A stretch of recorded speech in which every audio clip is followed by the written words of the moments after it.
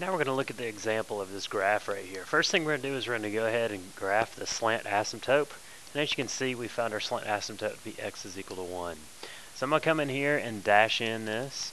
If you notice, this is obviously different than uh, the asymptotes we were dealing with before because those were horizontal or vertical lines. This time we have a line uh, that has a slope other than 0 or undefined. And what we're going to do now is we're going to find some other points that we can use. Uh, like we talked about, there will be no horizontal asymptote, uh, but we do have a chance for a vertical asymptote. So our vertical asymptote is going to be x is equal to 1. So we'll go ahead and dash that in also. x is equal to 1, nice little vertical asymptote. And again, uh, because we have one vertical asymptote, it's going to divide our graph into two parts. Basically, the part that's to the left of the vertical asymptote and the part that's to the right of the vertical asymptote. So we're going to have to try some numbers uh, in both those sections to figure out what we're going to get. Uh, a couple other things we can find real quick is plug in 0. This will give us our y-intercept. We'll get 1 over negative 1, so that'll be a negative 1.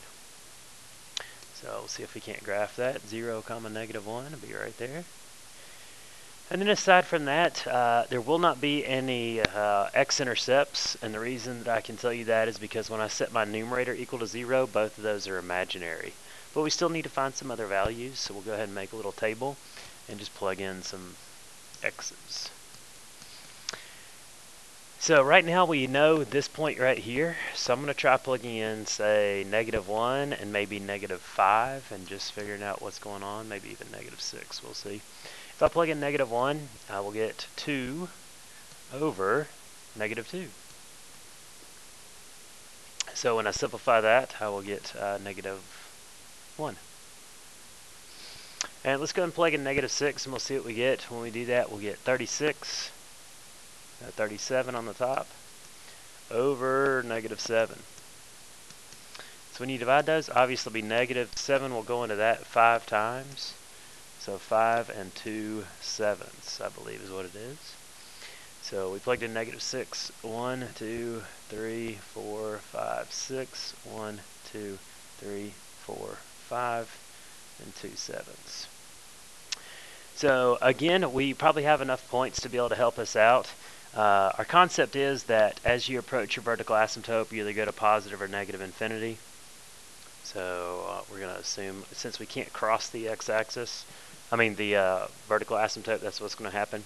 Now, the slant asymptote is going to have characteristics very similar to the vertical or the horizontal asymptote.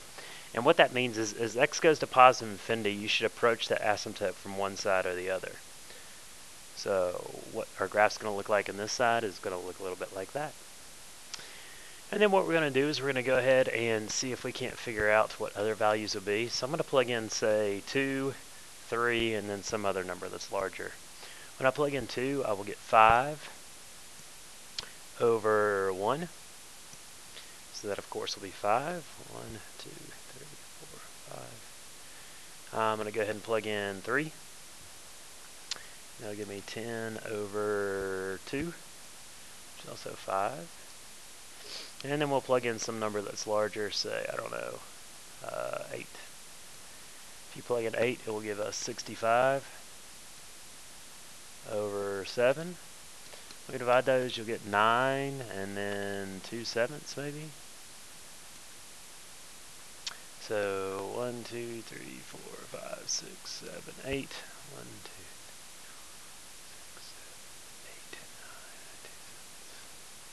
So our graph will look a little something like that. And again, the concept is, is as we approach this asymptote, we either need to get a positive or negative infinity. And then it should approach the asymptote as it goes to, as x gets larger and larger and larger. So that's the graph of our slant asymptote.